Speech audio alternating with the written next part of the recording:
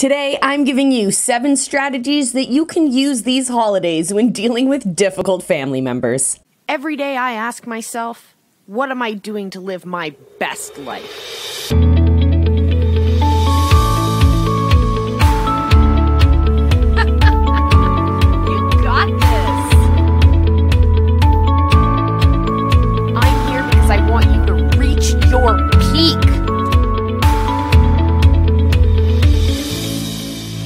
Listening to the Lifelong Learning and Leadership Podcast, brought to you by Three Pines Leadership. Here's your host, success coach, teacher, and mediator, Molle Doris. My name is Coach Molle, and welcome to my channel. If you're new here, thank you so much for checking out this video. I really hope that you get some value out of it. I also hope you subscribe, hit that bell icon, and take a chance at pushing yourself forward. Here at Three Pines Leadership, we strive for balance in all aspects of our lives. We know that each of us has a gift a light to shine on the world. And maybe you haven't uncovered your gift, or maybe you're standing in the way of shining your light on the world. But regardless, if you want to change the world for the better, this is the place for you. Here's how to maintain your integrity in family relationships. Difficult people are everywhere, like it or not. It's pretty certain that at some point in your life you'll come across a challenging person and will have to find a way to deal with them. It'd be easy to think, why bother? If being around them causes you grief, but it's not that easy, is it? Sometimes we're just forced into situations we have little control over. With the holidays approaching, let's talk about dealing with difficult family members. Being related is one such circumstance where we can't get away from each other. In fact, family members are often the hardest to deal with because they're connected to us in a more complicated and intimate way. With difficult acquaintances like friends, colleagues, lovers, or neighbors, you might have to deal with them for a time either until you, the conflict between you is resolved or you're able to remove yourself from the situation. With family, we are almost obligated to go the extra mile for the sake of the integrity of the family group.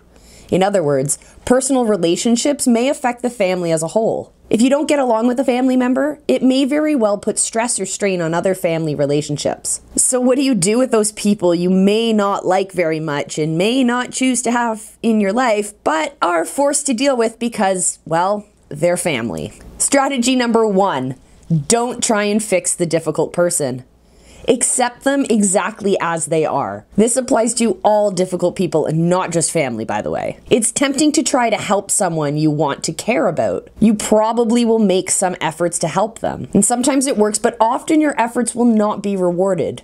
In fact, trying to fix someone or make their life better may become a huge headache, since the more you do for them, the more they want from you. Accept that they are unable to change. At least at this point in time. Unless you see real change or proof that this person is making an effort to listen and meet you halfway, you can assume that their behavior is what it has always been. It's important to temper your expectations about what others can and want to do. Number two, be present and direct. Know that a person who is trying to stir up conflict can easily set you off emotionally and even physically, possibly raising your heart rate and your blood pressure. Try to avoid getting into a fight or flight response, which inevitably leads to becoming defensive. You do not want an argument or heated discussion. Stay true to yourself, grounded in your own integrity. Be direct and assertive when you express yourself. Stay focused on how you respond. Know when the discussion or argument has escalated to the point of no return, meaning it's no longer about conflict resolution, but just about winning. If it gets to this point, stop the interaction and leave the conversation. Strategy number three do encourage difficult people to express themselves. Let them fully state their point of view about the issue or the conflict or the problem without interruption. Why do they feel judged or criticized by others? What do they feel people misunderstand about them? What do they want or expect from others? The idea is to remain as neutral as possible.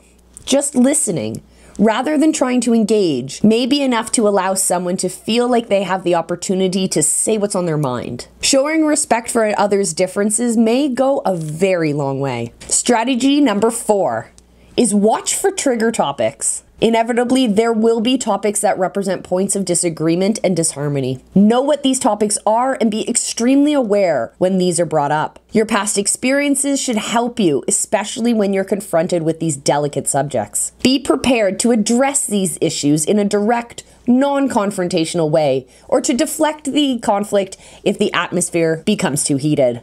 Strategy number five is to know that some topics are absolutely off limits.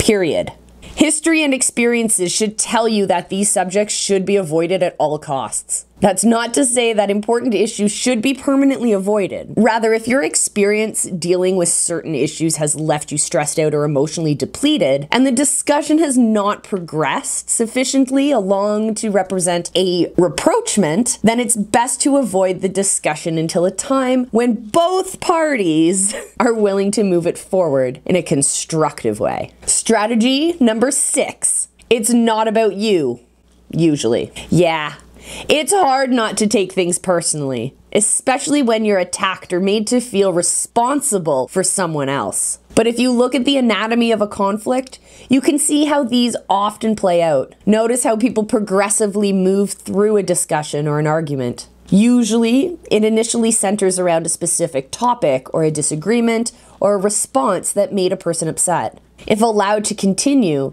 the argument can become heated accelerating quickly to personal attacks, which often includes trying to make you feel responsible or guilty for not responding the way that someone wants you to respond. If you've been through this kind of interaction before, make a concerted effort to imagine it unfolding before it actually does, and then nip it in the bud. And finally, strategy number seven your own well being should always come first. Well, you want to be respectful and attentive to others as much as you can. You don't ever want to bend over backwards or twist yourself into a knot just to make someone else happy or satisfied, or just to keep the peace. Never allow any personal interaction or relationship to infringe upon or challenge your own well being. Visualize your boundaries, that protective territory between you and someone else. No one is entitled to occupy your space unless you invite them in. And then there's that special situation where families get together for a special occasion or holiday. It's best to plan ahead so that you have a good idea about how time will be spent with your relatives.